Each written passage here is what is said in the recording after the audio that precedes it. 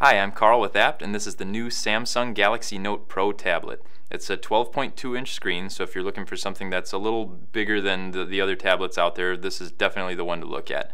If you have an Android phone, you're already familiar with how the operating system works. If you don't, um, and you're just looking for something different, this is a great tablet to check out. The operating system really is very easy to use, um, really straightforward, and just a, it's a nice design.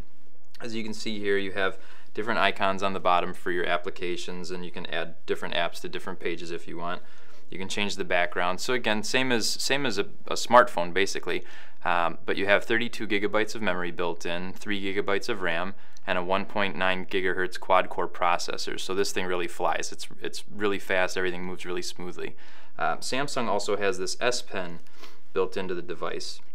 When you take it out, it activates the uh, air command controls. So you can do different things like take notes right on the screen, um, highlight different things and save them to different folders. It just makes it really easy to use, very functional, um, very user friendly. It's got a big built-in battery so the time uh, you can use it is good. I mean, you can use this thing for a whole day without worrying about the battery running out, which is a benefit. Um, better than most laptops and better than a lot of the other tablets out there too.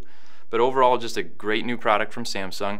Definitely check it out if you're looking for something that's bigger than a tablet but not as big as a laptop. And uh, if you have any questions, check it out at abt.com. and feel free to like, comment, and subscribe on YouTube.